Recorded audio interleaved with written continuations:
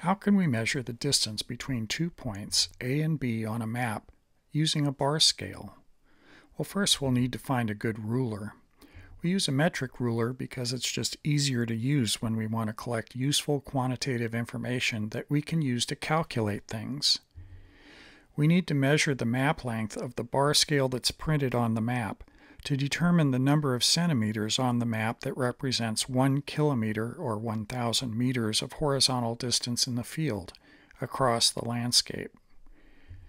Be as accurate as you can in placing the zero line of the ruler on the zero edge on the left side of the bar scale. This bar scale is 10 centimeters long on the map, representing one kilometer of horizontal distance in the field across the landscape. Now we do the same thing to measure the map distance between points A and B. Carefully place the ruler and read the map distance between A and B. It's 12.5 centimeters. Now we have all the data we need to solve the problem. It helps to organize the data, especially while we're learning how to solve a problem. To visualize how these data are related to each other, I've made a table that has separate vertical columns for map distances expressed in centimeters and field distances measured horizontally across the landscape and expressed in kilometers. We have two horizontal rows, one for the map and field distances from A to B, and the other for the map length of the bar scale and the field distance it represents. Now we'll insert the data values we know either because we measured them or because it was printed on the map.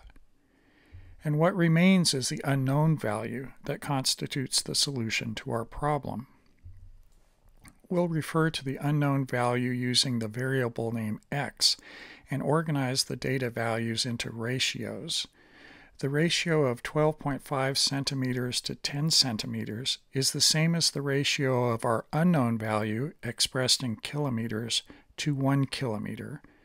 This is a proportion problem, and we can solve it the same way you solve proportion problems in grade school, although that sort of thing is easy to forget, I know.